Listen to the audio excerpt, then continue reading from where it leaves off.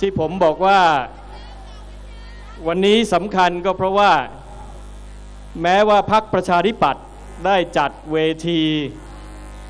ที่คุณสุเทพเรียกว่า โรงเรียนการเมือง หรือการสารเสวนามามากพอสมควรในหลายภูมิภาค แต่การตั้งเวทีผ่าความจริง ซึ่งมีจุดมุ่งหมายให้พี่น้องประชาชนได้รับรู้รับทราบ เกี่ยวกับอันตรายของการทำงานของรัฐบาลในสองเรื่องหลัก คือการแก้ไขเพิ่มเติมรัฐธรรมนูญ ซึ่งจะนำไปสู่การรื้อรัฐธรรมนูญ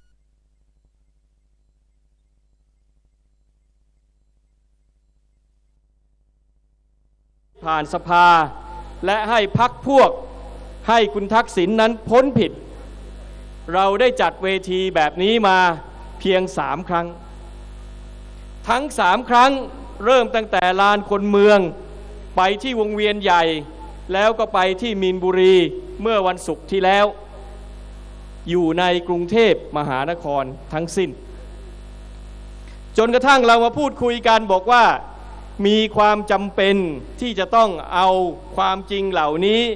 มาเผยแพร่ให้พี่น้องประชาชนในจังหวัดอื่น ๆ ในภูมิภาคอื่น ๆ ได้รับรู้รับทราบ ในที่สุดเราก็ตกลงครับว่าต่อจากนี้ไปทุกวันเสาร์เราก็จะสัญจรออกไปในจังหวัดต่างๆ ภูมิภาคต่างๆ แต่วันนี้ถือเป็นครั้งแรกที่เราออกมานอกกรุงเทพมหานคร มาที่นี่ครับที่จังหวัดพิษณุโลกของพี่น้องที่นี่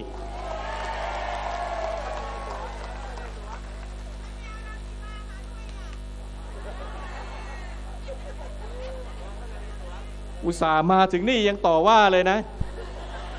ต่อว่าว่าทำไมไม่เอารังสีมามาด้วย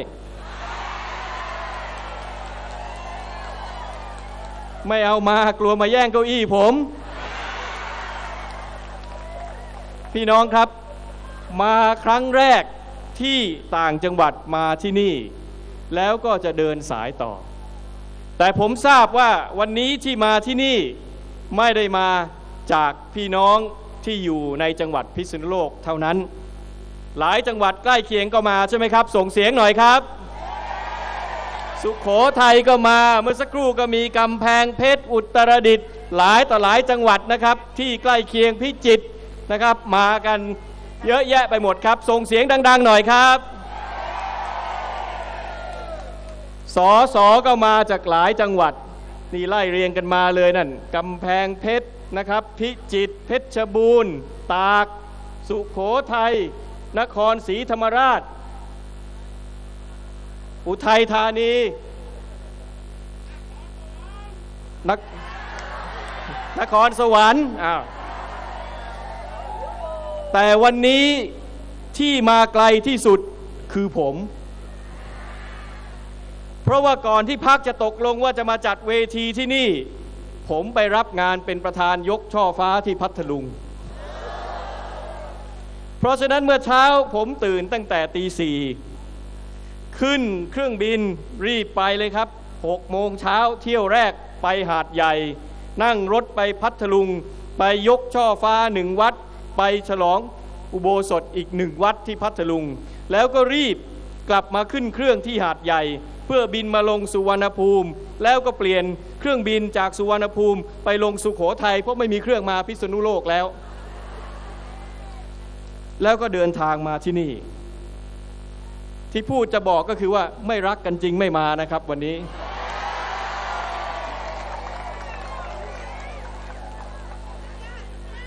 แต่ว่าจำได้ว่าประชาธิปัตย์มาตั้งเวทีตรงนี้ทุกครั้ง คึกคักทุกครั้งพี่น้องประชาชนมาแล้วก็มาให้กำลังใจมาให้การสนับสนุน สนอกสนใจในสิ่งที่พักประชาธิปัตย์จะได้บอกกล่าวให้พี่น้องฟัง พอเครื่องลงสุขโขทัยเขาก็บอกว่าฝนตกหนัก แต่ผมก็มั่นใจว่าไม่มีใครหนี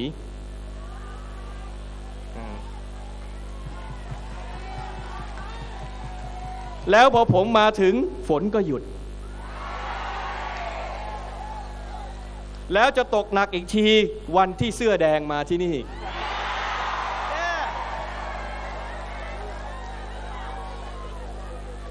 เพราะว่าเกิดขึ้นแล้วที่มีนบุรี ของเรานั้นซ้อมใหญ่เฉยๆตอนไปปราศัย ฟ้าซ้อมใหญ่ฝนตกลงมาบ้าง คือไม่ตกไม่ได้ เดี๋ยวถูกว่าสองมาตรฐาน แต่ตกมาพอให้เห็น แล้วก็พอวันรุ่งขึ้นเขาไปก็ตกหนัก เสียอย่างเดียวเนี่ยพอฝนตกหนักปรากฏว่านายจตุพรเลยไปอ้างศาลเมื่อวันจันทร์ที่ผ่านมา จะต้องเป็นจำเลยในคดีที่ผมฟ้องอ้างว่าฝนตกหนักเป็นหวัด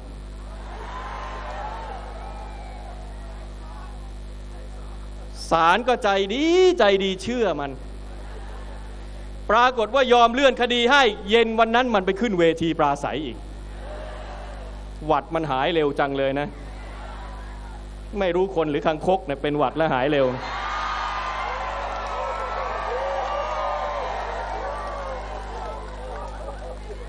พี่น้องครับ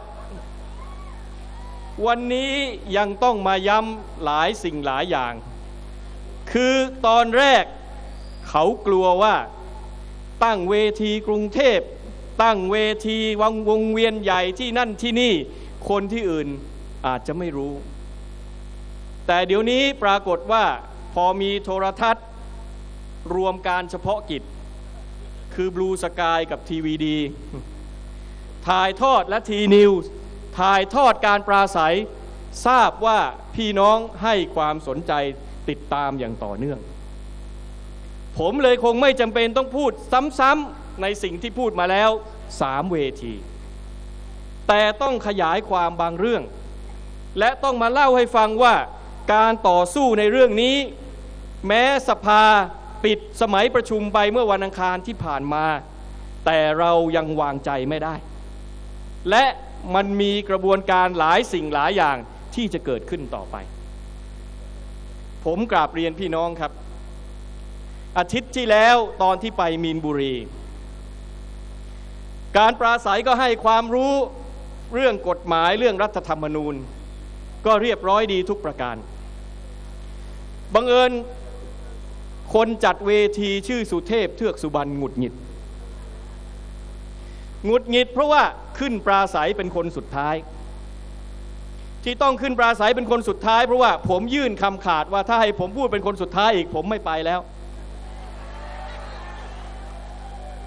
ยืนหงุดหงิดหงุดหงิดสี่ทุ่มยังไม่ได้ขึ้นเวที รู้ว่าห้าทุ่มคนจะรีบไปดูบอลสี่ทุ่มห้านาทียังไม่ได้พูดสี่ทุ่มสิบนาทียังไม่ได้พูด พอขึ้นเวทีปั๊บพิธีกรส่งกระดาษขึ้นมา อย่าพูดนานคนจะกลับไปดูบอลคุณสุเทพก็เลยไม่รู้ว่า จะพูดอะไร ก็เลยเอาให้คุ้มเลยครับ พูดไป 8 นาที แต่เป็นพาดหัวข่าวใหญ่ไปอีกหนึ่งอาทิตย์ เพราะเอาความจริงมาเปิดเผยมาแฉว่า หลายเรื่องที่ทักษิณ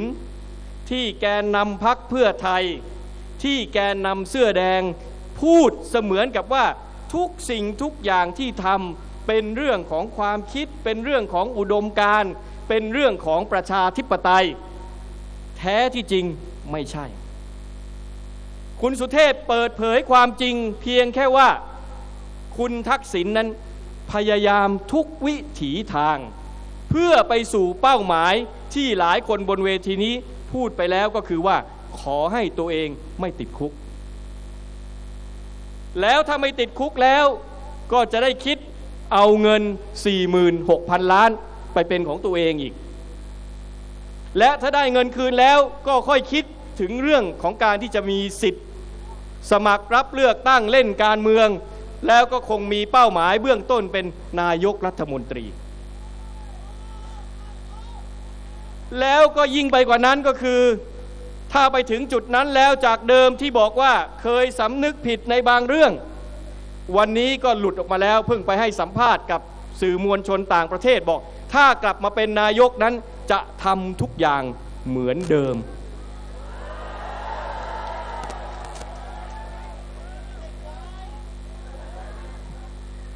ทำเหมือนเดิมก็คุกอีกสิครับพี่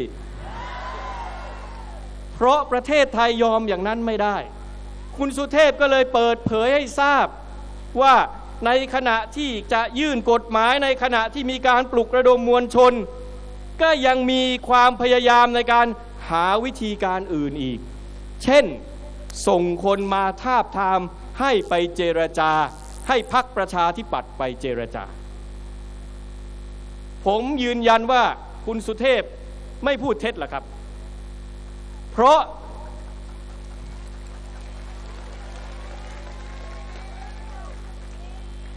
เพราะถ้าคุณสุเทพพูดเฉพาะที่มีนบุรีเมื่ออาทิตย์ที่แล้วนี่ ผมคงต้องสงสัยเหมือนกัน ว่าอยู่ดีๆ เอาอะไรมาพูด แต่ข้อเท็จจริงก็คือว่าคุณสุเทพเล่าให้ผมฟัง ถึงความพยายามในการติดต่อในเรื่องเหล่านี้มาอย่างต่อเนื่อง และที่สำคัญก็คือว่าไม่ใช่คุณสุเทพคนเดียวครับ มีคนอื่นๆที่อยู่ในพักที่ใกล้ชิดกับพักประชาธิปัตย์ก็เคยมารายงานให้ผมทราบถึงแนวคิดที่จะมีการเจรจาแบบเดียวกับที่คุณสุเทพเล่าให้ผมฟัง ฉะนั้น ผมจึงกล้าพูดได้ว่า ไม่ใช่คุณสุเทพหงุดหงิดนึกสนุกกุเรื่องเล่น ๆ ขึ้นมาเมื่ออาทิตย์ที่แล้ว เพราะคุณสุเทพก็ไม่มีนิสัยอย่างนั้น แต่เป็นเรื่องที่ผมรับรู้รับทราบมีการรายงานและเล่าให้ฟังก็ได้ครับ ถึงขั้นที่ว่าผมเชิญผู้หลักผู้ใหญ่ในพักมาประชุม เพราะผมเกรงว่าถ้ามีการติดต่ออย่างนี้มาก ๆเข้า เดี๋ยวคนในพักสับสน หวาดระแวงว่า เอ๊ะทำไมผู้หลักผู้ใหญ่ของพัก คนนั้นคนนี้มีการไปพูดคุยกับฝ่ายพักเพื่อไทยกับฝ่ายคุณทักษิณจะไขว้เขวไปหรือไม่ในแนวทางต่างๆ แล้วในที่สุดพอประชุมกันก็เป็นเสียงเอกฉันครับ ว่าใครจะมาติดต่ออย่างไรก็ตามนี่พักประชาธิปัตย์ ยืนยันจุดยืนชัดเจนครับว่าไม่ประสงค์ที่จะเข้าไปร่วมรัฐบาลกับพักเพื่อไทย แต่พร้อมเป็นฝ่ายค้านต่อสู้เคียงข้าง พี่น้องประชาชนเพื่อความถูกต้อง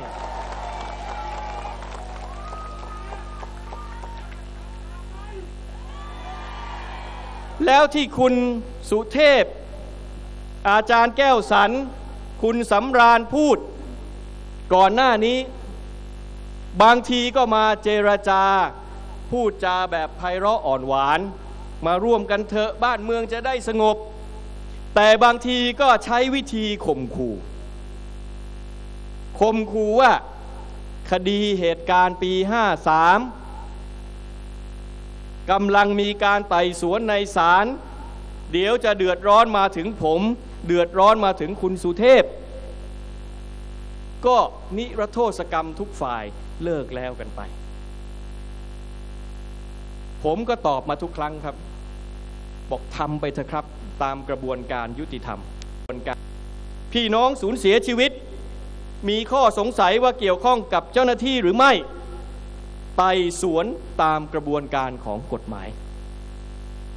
พวกผมมั่นใจในความบริสุทธิ์ใจของตัวเอง พร้อมต่อสู้ตามกระบวนการยุติธรรมทุกประการ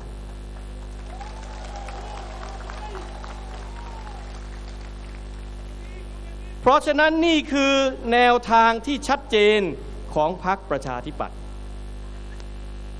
พรรคเพื่อไทยหลายคนออกมาโวยวายโวยวายพวกที่โวยวายบอกไม่อยากร่วมรัฐบาลกับประชาธิปัตย์ไม่ว่ากันครับ ผมก็ไม่ได้อยากร่วมกับคุณ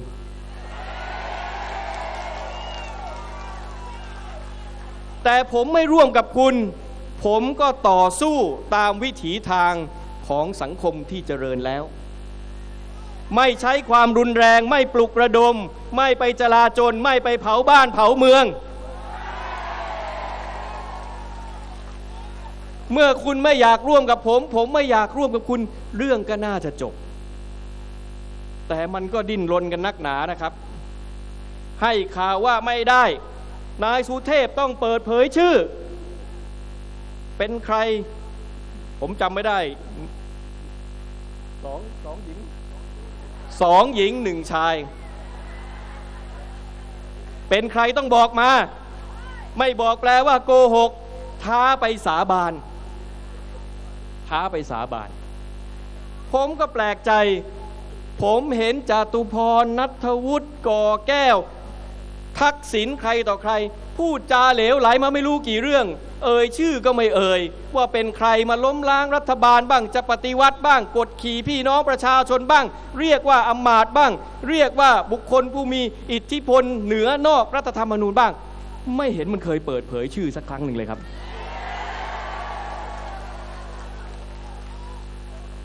แล้วทำไมไม่ไปสาบานบ้างล่ะ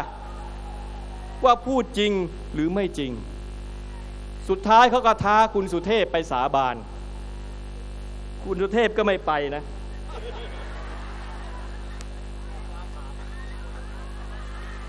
ที่ไม่ไปเนี่ย มาอธิบายกับผมเหตุผลฟังขึ้น คือเดี๋ยวนี้อากาศแปรปรวน กลัวฟ้าไม่แม่น คือเจอพวกเหลวไหลเหลวไหล ใจร้อนไปหน่อยพาตุ้มแต่เกิดการคลาดเคลื่อนเล็กน้อยมาโดนฝ่ายเรา ก็เลยไม่ไป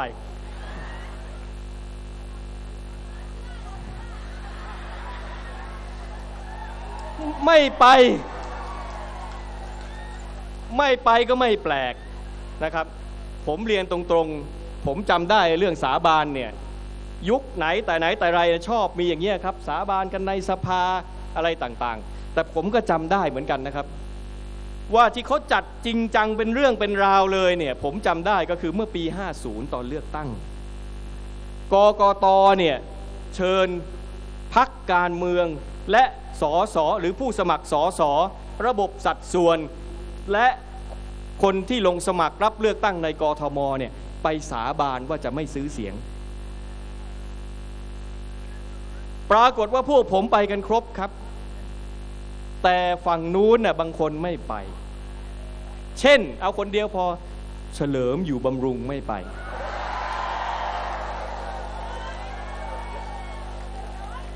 ที่จริงจตุพรก็ไม่ไปใครก็ไม่ไปครับไอ้อย่างนั้นสิครับมีการจัดเป็นเรื่องเป็นราวเป็นพิธีนะครับ ผมไม่ได้ว่าเห็นด้วยไม่เห็นด้วยกับวิธีนี้ แต่เราแสดงความบริสุทธิ์ใจ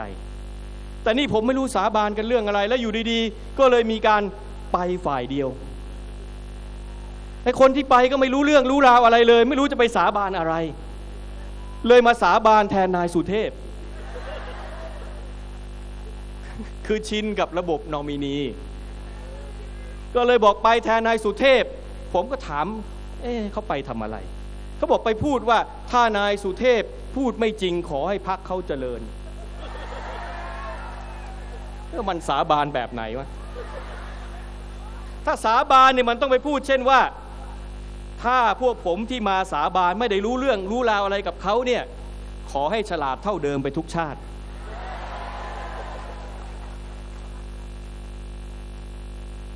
อย่างนี้แหละครับถึงจะเป็นการสาบานผมไม่รู้จะกล้าไหมครับ หรือกลัวฉลาดเท่าเดิม ผมจึงบอกพี่น้องว่าวันนี้ต้องชัดเจน ว่าเรื่องราวทั้งหมดมันไม่ใช่ เรื่องอุดมการพรุ่งนี้ที่บอกจะซ้อมใหญ่ก็จะอ้างเป็นเรื่องอุดมการอิงกับว่าวันพรุ่งนี้ 24 มิถุนาครบรอบเปลี่ยนแปลงการปกครอง 80 ปี จะจัดเวทีใหญ่จัดไป ผมไม่รู้ว่าจะไปปลุกระดมอะไรอีกนะครับ แต่ถ้ามาตรฐานเหมือนกับที่จัดที่ดอนเมืองเมื่อวานนี้ ก็ต้องบอกว่าเป็นเรื่องน่าเศร้าว่า 80 ปีผ่านไป นักการเมืองไทยบางพวกถอยหลัง แย่กว่าเดิม เพราะไม่มียุคไหนหยาบคายไร้สาระแบบนั้นครับ แต่ว่าถ้าอยากฟังของดีๆแหมบังเอิญตั๋วหมดแล้วไม่กล้าโฆษณา พรุ่งนี้ท่านนายกชวนกับผมก็จะไปจัดกิจกรรมที่จะพูดจากับพี่น้อง ซึ่งกรุณาซื้อตั๋วไปแล้วก็จะเอา รายได้ที่หักรายจ่ายแล้วมอบให้กับสภากาชาติ ก็จะได้เหลียวหลังแลหน้าประชาธิปไตยไทย ว่ากันด้วยเหตุผลว่ากันด้วยหลักการ ว่ากันด้วยเนื้อหาสาระที่เราคิดว่าจะเป็นประโยชน์กับการพัฒนาการเมืองของเรา แต่วันนี้ที่มาตั้งเวทีตรงนี้ก็ต้องย้ำอีกครั้งครับ สองเรื่องหลักของเรายังไม่จบ เรื่องแรกเรื่องรัฐธรรมนูญ ปิดสมัยประชุมไปขณะนี้ศาลก็กำลังจะมีการไต่สวนพิจารณา เพราะมีคนไปร้องว่าการพยายามที่จะล้มล้างรัฐธรรมนูญ ด้วยการยื่นแก้ไขเพิ่มเติมมาตรา 291 หรือใจเชื่อมโยงกับการเคลื่อนไหวของกลุ่มอื่น ๆ ในสังคมเนี่ย เข้าข่ายตามมาตรา 68 หรือไม่ ซึ่งแทนที่เราจะได้ยินพักเพื่อไทยผู้เสนอร่างแก้ไขเพิ่มเติมรัฐธรรมนูญออกมาพยายามอธิบายถึงเหตุถึงผลต่างๆ เรากลับได้ยินการไปตั้งเวทีขู่สารรัฐธรรมนูญ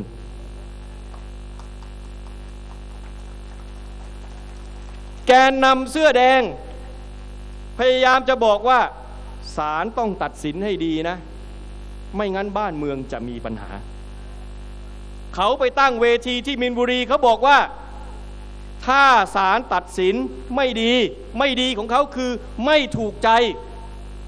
เขาก็จะมายึดกรุงเทพอีกครั้งหนึ่ง พี่น้องยอมรับได้ไหมครับ วิธีการแบบนี้ ท่านประธานศาลเมื่อวานถึงกับเอ่ยปากออกมาว่า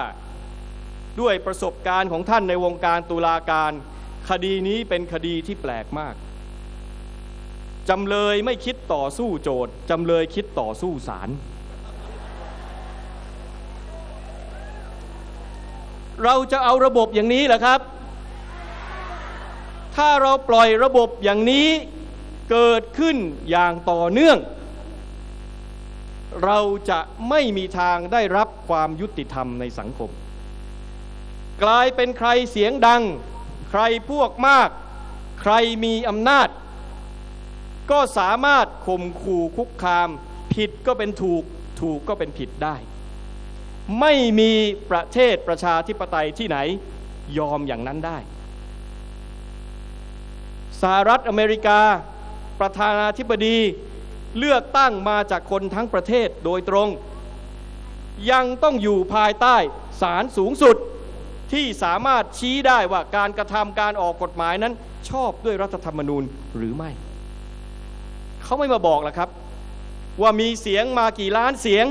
ผู้พิพากษากี่คนจะมาใหญ่กว่า เพราะเขารู้ว่ามันมีการแบ่งแยกอำนาจ ทวงดุลตรวจสอบ เพื่อเป็นหลักประกันว่าในประเทศที่เป็นประชาธิปไตย ทุกคนเป็นเจ้าของประเทศจริง ๆ ไม่ใช่ระบบพวกมากลากไป หรือพวกมากทำอะไรก็ได้ พี่น้องที่เคารพครับ ดังนั้นเรื่องรัฐธรรมนูญเนี่ยจึงยังเป็นปมที่พวกเราทุกคนต้องเป็นกำลังใจ ให้ศาลนั้นดำเนินการอย่างตรงไปตรงมา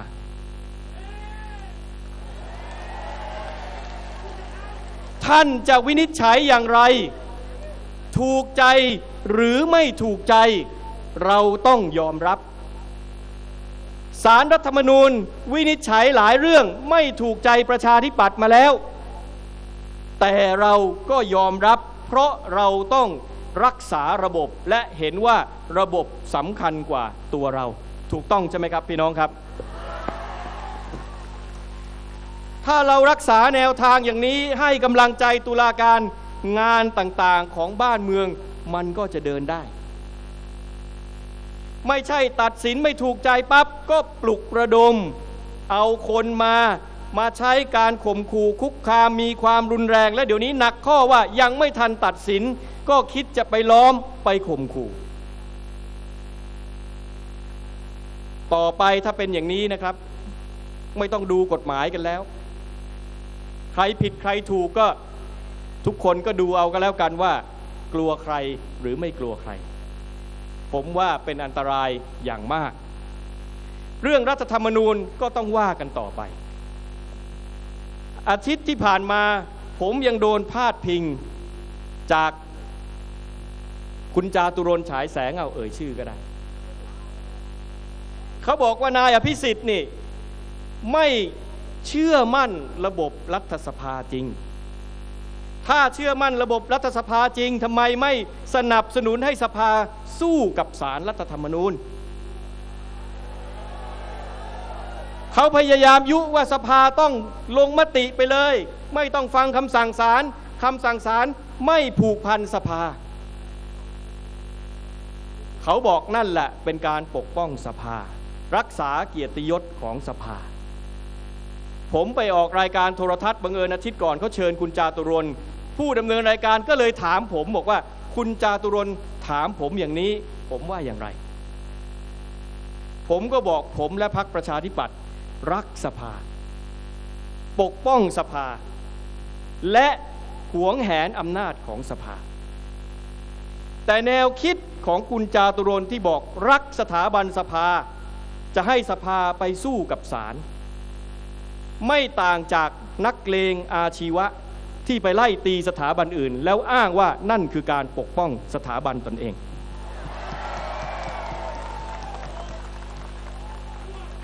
ไม่ใช่ครับ ถ้าเรารักสถาบันของเรา เราต้องรู้ว่าขอบเขตอำนาจของเราอยู่ตรงไหน อะไรควรอะไรไม่ควร การรักษาสภา ไม่ให้ไปเป็นส่วนหนึ่งของความขัดแย้ง ผมว่าที่ทำอยู่ตอนนี้ถูกต้อง คือไม่ว่าจะคิดว่าคำสั่งศาลถูกไม่ถูกผูกพันไม่ผูกพัน จะเป็นอะไรไปล่ะครับ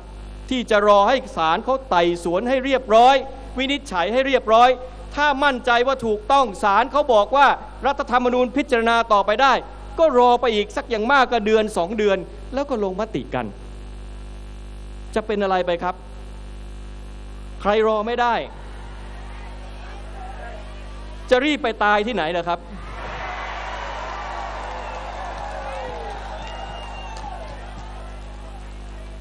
ผมจึงบอกว่าที่เราต้องให้ความรู้กับพี่น้องประชาชนส่วนหนึ่งเนี่ยผมไม่ได้บอกว่าเราบอกว่าใครถูกใครผิด แต่เราต้องการให้สังคมมีการยับยั้งชั่งใจ เมื่อมีระบบการแบ่งแยกอำนาจทวงดุลอำนาจเคารพซึ่งกันและกัน แล้วจะทำให้บ้านเมืองมีความสมดุลแล้วเดินต่อไปได้ นั่นเรื่องรัฐธรรมนูญ ถัดมาก็เรื่องกฎหมายล้างผิดสี่ฉบับที่ว่า ที่เล่ากันมาหลายครั้งแล้วละครับว่าตกลงอะไรก็ไม่ผิดทั้งนั้น เผาบ้านเผาเมือง จะศูนย์การค้าสาลากลางไม่ผิด เอาเงินงบประมาณต้องไปซ่อมแซม เยียวยาไม่รู้กี่พันล้าน ก็จะสูญเปล่าไปไม่ต้องมีใครรับผิดชอบ มีการฆ่ามีการเอากำลังมา มีการปาระเบิด มีการยิง M79 ยิง RPG ก็ไม่ต้องรับผิด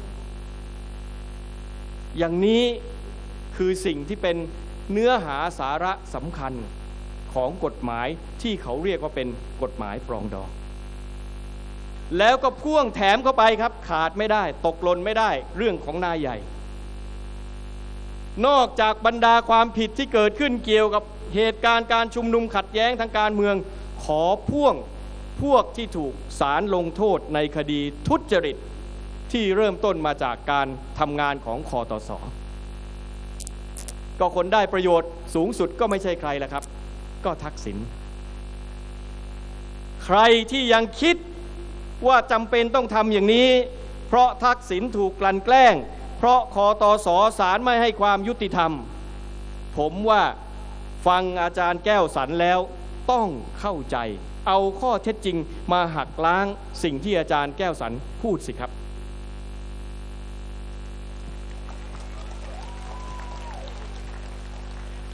อย่าไปเพียงพูดลอยๆ ว่าตั้งคนมีอคติ สอบสวนแล้วก็กลั่นแกล้งทักษิณกลั่นแกล้งครอบครัว ต้องคืนความยุติธรรม หลังสุดนี่เลขาของประธานสภาบอก ต้องเยียวยาให้คุณทักษิณเพราะน่าสงสารมากที่ถูกกระทำแบบนี้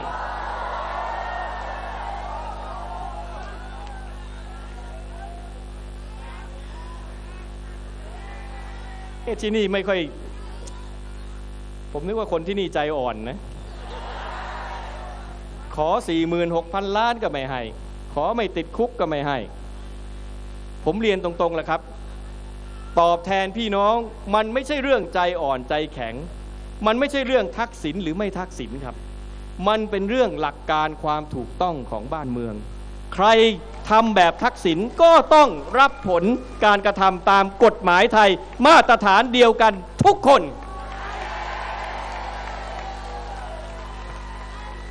พี่น้องก็ยังจำเป็นจะต้องช่วยกันเล่าให้ฟังบอกกันต่อ ๆ ไปครับ เพราะไม่งั้นกระบวนการของการบิดเบือนของการสร้างกระแส ก็จะเกิดขึ้นอย่างต่อเนื่องว่าจะต้องมาลบล้างความผิด เพราะทักษิณถูกกลั่นแกล้ง ผมไม่ย้ำแล้วละครับ เพราะว่าข้อสังเกตของผมเรื่องที่เกี่ยวข้องกับคดีที่ขึ้นไปที่ศาลว่าไม่ใช่คอตสอนะ มีเรื่องอายการกลั่นกรองแล้ว ทักษิณก็กลับมากราบแผ่นดินเข้าไปต่อสู้คดีในศาลแล้ว อุตสามีถุงขนมสองล้านก็แล้ว แล้วศาลก็อุตส่ายกฟ้องไปสองข้อหา ยกฟ้อง คุณหญิงพจมานก็แล้ว ครอบครัวคุณทักษิณก็เอาประโยชน์จากคำพิพากษาไม่ต้องเสียภาษีไปเป็นร้อยล้านแล้ว ยังจะมาบอกได้อย่างไรว่าเป็นเรื่องของการกลั่นแกล้ง แต่ความพยายามตรงนี้ไม่จบครับ ขณะนี้เขารอสภาเปิดมาในวันที่หนึ่งสิงหาคม ถ้าการประชุมของสภาการราษฎร เป็นไปตามปกติ นั่นหมายความว่าเรื่องแรกที่จะต้องพิจารณากันในการประชุมครั้งแรกของสภาผู้แทนราษฎรก็คือกฎหมาย 4 ฉบับนี้ครับ เพราะเขาเลื่อนขึ้นมาจ่อเอาไว้ กลายเป็นเรื่องสำคัญที่สุดในการทำงานของรัฐบาล เป็นไปได้ยังไงครับ พี่น้องประชาชนเดือดร้อนทั้งแผ่นดิน ที่วันนี้คุณสุเทพบอกว่าประชาธิปัตย์ไม่ได้มาไล่รัฐบาล ไม่ได้มาไล่คุณยิ่งลักษณ์ถ้าจะไล่คือไล่ให้ไปทำงานให้ประชาชนสักทีครับ อย่ามัวทำอย่างอื่นอยู่ ผมไปใต้ เขาก็บ่นอย่างที่คุณสุเทพเล่าให้ฟัง ตอนประชาธิปัตย์เป็นรัฐบาลพ้นจากตำแหน่งมายาง 180 บาท วันนี้ผ่านไปหนึ่งปีเลขหนึ่งหายไปเฉยๆ ยางเหลือ 80 บาท แล้วดูสิครับ นายกก็ทำร้ายจิตใจประชาชนคนใต้เหลือเกิน เอาใครไปรับผิดชอบงานีกะเกณฑ์คนเข้ามา โดยเฉพาะคือกะเกณฑ์เฉพาะพักพวกของตัวเองเข้ามาแล้วมาให้ความเห็น และสำคัญที่สุดข้อที่สามครับ การสร้างความปรองดองเนี่ยครับมาพูดคุยกันแล้วเนี่ยต้องหาข้อยุติในลักษณะที่ทุกฝ่ายคิดร่วมกันแล้วเห็นว่าเดินไปอย่างนี้ด้วยกัน นั่นจึงจะเป็นการปรองดอง แต่ขณะนี้ แต่ขณะนี้ เขาเตือนนะว่า ถ้าไม่ใช้วิธีนี้ แต่กลับไปใช้วิธีว่า ยกมือสิข้างไหนมากกว่ากัน แล้วสรุปอย่างนั้น อย่างนี้ไม่ใช่ปรองดอง เพราะการปรองดองจะเกิดจากการยัดเยียดจากฝ่ายหนึ่งฝ่ายใด ไม่ได้โดยเด็ดขาดครับพี่น้องครับที่ผมจะเตือนพี่น้องคืออะไรครับ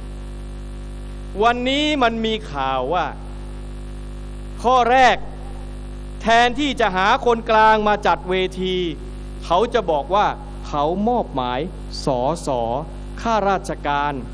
บรรดาบุคคลที่มีตำแหน่งทั้งหลายในรัฐบาลบ้างในราชการบ้าง เป็นคนไปสอบถามความคิดเห็นของประชาชน เพราะฉะนั้นพี่น้องต้องดูนะครับ พวกสอสอทั้งหลายพักเพื่อไทย ที่เวลาน้ำท่วมแล้วไม่โผล่มา แต่วันนี้จะโผล่มาขอความเห็นเนี่ยต้องรู้ทันว่ากำลังจะมาหาความชอบธรรมให้กับกฎหมายสี่ฉบับ ผิดหลักข้อแรกไปแล้ว ไม่เอาคนกลางมาทำข้อที่สองเขาจะไปพูดคุยกับคนที่รู้ว่าสนับสนุนฝ่ายเขา คงไม่มาถามแถวนี้แหละยิ่งพวกโพกหัวสีฟ้าๆอย่างเงี้ยเขาไม่มาคุยด้วยสำคัญที่สุด ตอนนี้เริ่มมีเอกสาร คล้ายๆแบบสอบถาม หรือแบบฟอร์มที่กำลังจะไปให้ประชาชนเซ็น แล้วบอกว่า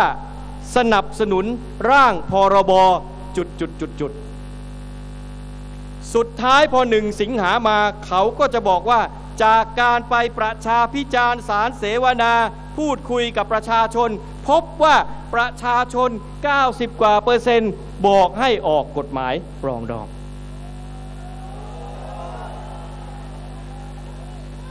พวกเราจึงต้องเอาความจริงเหล่านี้ ไปบอกพี่น้องประชาชนทั้งหลายว่าหนึ่งอย่าเป็นเหยื่อของกระบวนการตรงนี้ และสองช่วยกันเป็นหูเป็นตาครับ ชุมชนไหน ตำบลไหน หมู่บ้านไหน อำเภอไหน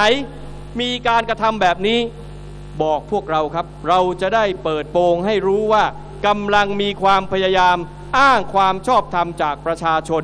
ไปออกกฎหมายล้างผิด ให้กับคนทุจริตโกงชาติ และพวกก่อความวุ่นวายให้กับบ้านเมือง เพราะฉะนั้นวันนี้ มาฟังแล้วมีการบ้านติดตัวกลับไป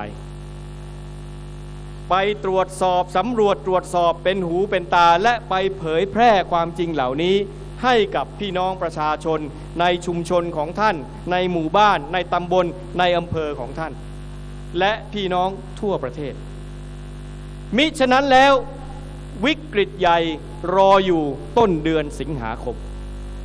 ที่เขาจะพยายามผลักดันเรื่องนี้อ้างมวลชน แล้วก็จะมีการปลุกระดมอย่างเช่น ที่กำลังตั้งเวทีของเสื้อแดงมาจะล้อมศาลล้อมสภาเพื่อที่จะผลักดันสิ่งเหล่านี้ให้ได้ ผมจึงบอกครับว่า สิ่งสุดท้ายที่วันนี้ต้องบอกไปยังรัฐบาล ฝากไปถึงนายกยิ่งลักษณ์คุณเป็นรัฐบาล คุณเป็นนายกรัฐมนตรี คุณบอกว่าคุณมีนโยบายให้บ้านเมืองสงบปรองดอง คุณต้องไปไล่ดำเนินคดีกับคนที่กำลังข่มขู่คุกคามตุลาการข่มขู่คุกคามประชาชน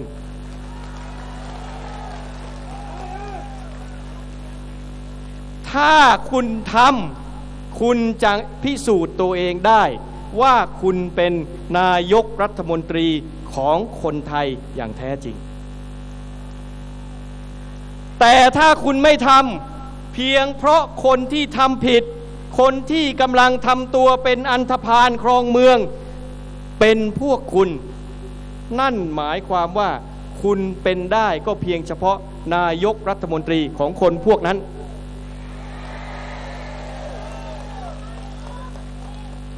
วันนี้ถึงเวลาต้องพิสูจน์ครับ เพราะถูกกดดันอย่างมากจากพี่ชายนายใหญ่ ที่จะต้องทำเรื่องนั้นจะต้องทำเรื่องนี้ ถูกกดดันมาโดยตลอด ถ้ายอมไปเรื่อยๆ เอาพี่ชายกลับมาเป็นเลยครับ จะได้รู้ดีรู้ชั่วกันไปเลย ผมกลัวแต่ว่า ผมกลัวแต่ว่ามาเห็นหน้าพวกเราแล้วไม่กล้ากลับมาเนี่ย วันนี้เราต้องเรียกร้องครับ รัฐบาลต้องเป็นรัฐบาลของประชาชน ต้องเป็นรัฐบาลของประเทศ ต้องเอากฎหมายความถูกต้องความสงบเรียบร้อยมาก่อนผลประโยชน์ของพวก ต้องยืนยันอย่างนี้ มิฉะนั้นประชาธิปไตยของไทยที่ผ่านมา 80 ปีไม่ได้เดินไปไหน ผมจึงกราบวิงวอนพี่น้องครับ เราจะต้องตั้งเวทีอย่างนี้ไปอีกหลายเวทีทั่วประเทศ พี่น้องก็อาจจะได้มีโอกาสติดตาม เมื่อมีการถ่ายทอดบ้าง หรือไม่ได้มีโอกาสติดตาม ก็อาจจะต้องพยายามรับฟังผ่านสื่อสารมวลชนอื่น ๆบ้าง แต่ พี่น้องทิ้งประเด็นเหล่านี้ไม่ได้ เขายังเคลื่อนไหวเดินหน้าตลอด และนี่เป็นเพียงก้าวแรกเป้าหมายแรกของเขา ที่ไปไกลกว่านั้นคุณสุเทพและอีกหลายต่อหลายคนได้พูดไปแล้ว ผมเชื่อว่าสิ่งที่รออยู่ปลายทางเป็นเป้าหมายของเขา ไม่ใช่ประเทศไทยแบบที่พวกเราต้องการ เพราะฉะนั้นพวกเรายังต้องปักหลักสู้กับความไม่ถูกต้องต่อไปและต่อเนื่อง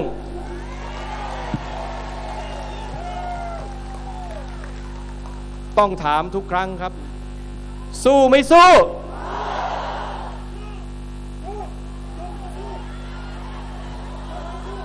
อันนี้ได้ยินมาอยู่ในพิษณุโลกอย่างเดียวไม่มีประโยชน์ครับ สู้ไม่สู้ ดังขึ้นอีกหน่อย ยังไม่ถึงดูไบเอาดัง ๆ อีกครั้งแล้วไม่ใช่สู้ครั้งเดียว เมื่อกี้สำราญบอกสองครั้งใช่ไหมงั้นผมขอสามสู้ไม่สู้สู้สู้ถ้าอย่างนี้พวกผมสู้กับพี่น้องตลอดไปครับกราบขอบพระคุณครับ